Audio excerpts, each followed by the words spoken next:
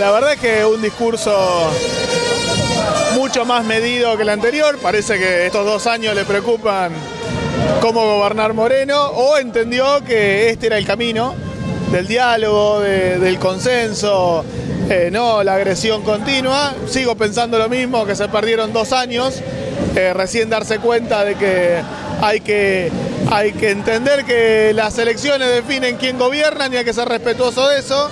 Eh, esperemos que ese camino se continúe y que los morenenses podamos trabajar en conjunto para, para lo mejor. También entiendo que el discurso de hoy no tuvo nada de proyectos. Yo cuando uno analiza, solo analiza lo que se hizo, mucho con recursos de provincia, diría el 95% con recursos de provincia, y muy poco de lo que vamos a hacer este año, salvo uno o dos anuncios. Eh, pero bueno, hay que esperar, hay que seguir trabajando, hay que, hay que lograr que, que la política haga que la realidad se pueda transformar de alguna manera y para eso estamos todos para trabajar. Bueno, hubo, a ver, si se quiere una consideración importante con respecto a la venta en la vía pública. Ese sigue siendo un tema. Bueno, esperemos cuando promulgue la ordenanza, la verdad ah, que... La ordenanza ya está promulgada por eh, la fecha. Por el tiempo, sí, por los 10 días hábiles continuos. Vamos a ver cuál es la aplicación. Yo voy a seguir manteniendo mi postura. No creo que sea la correcta los puestos fijos en la vía, en la vía pública, pero eh, con esta percepción que tengo, ojalá que me, me tapen la boca y que esto sea un gran proyecto para Morenos. Todos saben que yo no estuve de acuerdo ni en la manera, ni en la forma, ni en la legalidad de la ordenanza.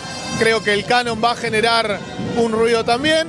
La voy a seguir de cerca y, si es bueno para Moreno diré que, que me equivoqué y si no es bueno para Moreno mi postura no era, no era tan loca como muchas cosas que me adelanté y que después el mismo oficialismo reconoce que tenía razón. ¿Pide licencia?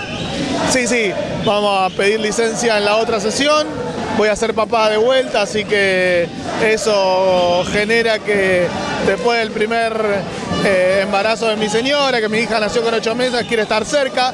Ellos estuvieron cerca en todo momento, me dieron todo el acompañamiento, la fuerza.